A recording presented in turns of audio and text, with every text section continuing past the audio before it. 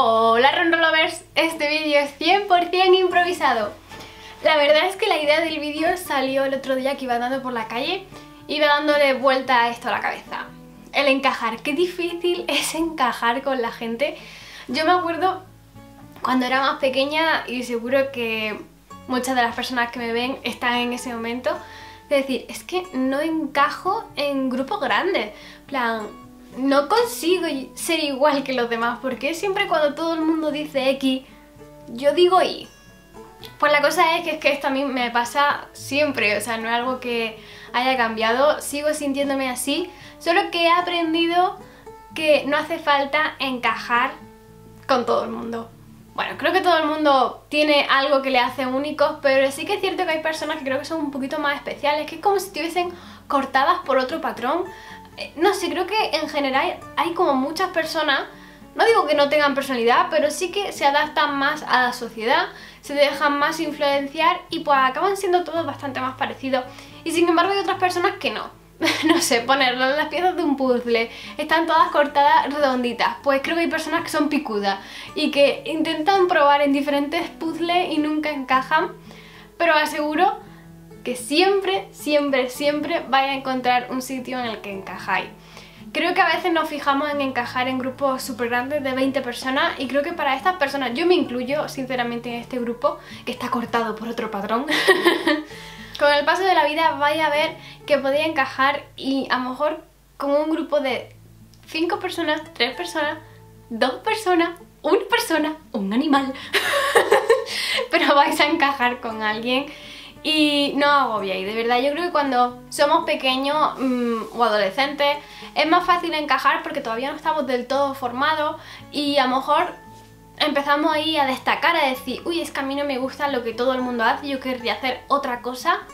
Y a lo mejor hay gente que se deja influenciar y se adapta a cómo es la sociedad y otras personas que no, que son fieles a ese sentimiento que dicen es que no me siento en ese lugar y continúan de esa manera aunque se sientan diferentes. Pero creo que cuando eres mayor es aún más difícil encajar porque ya os digo, cuando eres adolescente tu personalidad aún no está hecha del todo, pero según van pasando los años, según vas madurando, te das cuenta de que vas formándote como persona y cuando llegas a un grupo ya con personas que no conoces, más mayores, que también están formadas, es aún más difícil encajar porque cada persona ya está más formada y tú te has ido formando en esa rareza, vamos a llamar, y no encaja. El fin de este vídeo es simplemente hablar de esto y me gustaría saber vuestra opinión en los comentarios porque yo siempre me he sentido así, que no encajo, pero nunca, nunca, nunca, nunca he sentido que tuviese que cambiar. Es como, vale, no encajo, estas personas a lo mejor me dan un poco de lado o no puedo entablar una amistad con estas personas, pero es que a mí me ha dado igual, porque yo, no porque tú digas X, yo voy a decir X, si yo digo Y, es Y, y no pasa nada, y de verdad, no os preocupéis porque esto por los mensajes que me llegan, que a veces me contáis vuestra experiencia, tenéis ese miedo a quedaros sin amistades o a sentiros solos y os aseguro que siempre, siempre, siempre hay un puzzle en el que vais a encajar. Aunque tenga dos piezas. sé que el curso comenzó hace bastante y seguramente si habéis iniciado en actividades nuevas y cosas así habéis tenido que pues llegar a ese choque, ¿no? De gente nueva, ¿encajo o no encajo? ¿Qué pasará? Pero aunque sea tarde quiero deciros que no agobiéis, ¿vale? No, no lo paséis mal porque no encajéis en un sitio, porque aunque en esta vida, aunque no encajes en un sitio, te aseguro que a la vez sí que vas a poder encajar en otras situaciones. Por ejemplo, en clase, en este grupo nuevo, no encajas, pero seguro que con tu amigo de, de otro curso o con tu amigo de cualquier actividad que haga, seguro que sí. O tiene alguna amistad por las redes sociales, que ahora es súper común. Entonces no agobiéis porque yo sé, porque esto de verdad me llegan muchísimos mensajes de estos de que en clase no tenéis amigos, de que os sentís solo. Yo os recomiendo que en clase vayáis a estudiar. Sé que esto es más fácil cuando eres más mayor y saber que tus compañeros de clase no tienen por qué ser tu amigo. Pues si lo son, maravilloso, pero no, es, no tienen por qué ser así. Si, si pueden ser simplemente tus compañeros de clase, gente con la que eres educada, te llevas bien, pero no hay una amistad, un encaje. Y no pasa nada, tú vas a estudiar, vas a atender y os aseguro que si no os dejáis influenciar seguramente académicamente iréis mucho mejor, porque siempre creo que tendemos a juntarnos cuando queremos encajar a juntarnos con el peor grupo. No sé por qué suele pasar eso, sobre todo en cosas de, estudio, así que es mejor mm, ir por nuestra parte. Yo me acuerdo que a mí me daba mucho miedo el decir, ¿y ahora qué hago en el recreo o en el descanso? Mm, ¿Qué hago si no tengo ningún amigo con quien me voy? Yo he tenido la suerte de que he estado siempre en el mismo colegio, desde los 5 años hasta los 18. y pues nunca he tenido ese problema porque siempre he tenido a alguien ahí. Porque no he tenido que conocer a gente nueva, a lo mejor llegaba un alumno nuevo, pero yo conocía al resto de la clase desde hace años. Pero me acuerdo de cuando entré a la universidad, cuando entré en, el, en la FP, ahora... siempre empiezo con ese miedo de decir, ¿y ahora con quién me voy, señor? ¿Qué hago? Pues he aprendido a que no pasa nada. Si encuentra a alguien con quien perfectamente puede charlar en, ese descanso, maravilloso. Pero si no, o si no te apetece, porque a mí también me pasa muchas veces que me agobia estar con tanta gente y me apetece estar sola, pues os cogéis, os vais a la biblioteca y no hace falta que estudiéis, simplemente poneros ahí a vuestra bola, a vuestro relax. A mí me gusta ponerme música, pero también saber que... Mm, no hace falta que con la gente que esté en el recreo sean tus amistades, no hace falta encajar perfectamente con esas personas. Hay que saber ser educado y ser amable y tener una conversación fluida de cualquier cosa eh, no importante para pasar esos 10-20 minutos y ya está, y a seguir estudiando, a seguir concentrándose y no pasa nada por no encajar. Ahora bien, cuando resulta que esas personas no encajas con ellas, pero es que además no te respetan, que es cuando llega el problema. Porque es cierto que a veces no encajamos con la gente y tú lo notas, notas que no hay feeling con esa persona, que eres muy dispar, pero hay educación, hay respeto entre las dos personas y aunque yo no piense como tú, no pasa nada, o sea, hablamos de otra cosa, no hace falta que hablemos de dramas.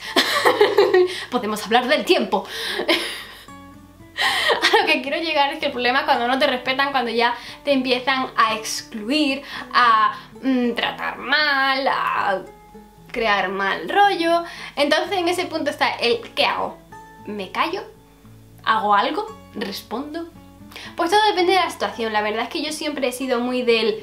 Mira, pasa, o sea, que hagan lo que quieran, pero tampoco hay que dejar que hagan lo que quieran con nosotros. Si alguien de verdad se pasa de la raya porque no soy igual o por cualquier razón de esta vida, eh, no hace falta que bajéis la cabeza y aguantéis todo lo que os echen. De verdad, levantar los ojos y decirle a esa persona, no poneros en su lugar, simplemente poneros en el punto de mira, persona que no me caes bien, porque me tratas mal.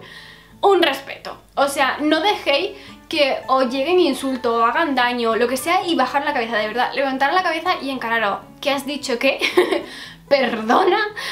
Lo siento, pero por ahí no paso. Tú no me vas a decir lo que sea a mí. No hace falta que tú le digas a esa persona o que ya te pongas en su lugar, me refiero en el sentido que hagáis exactamente lo mismo. No hace falta hacer eso, pero sí un stop. Y si veis que con esa persona no funciona porque, yo qué sé, ya se vaya de las manos, intentar ir a alguien superior a esa persona para que os ayude. Ejemplo, padres, profesores, whatever.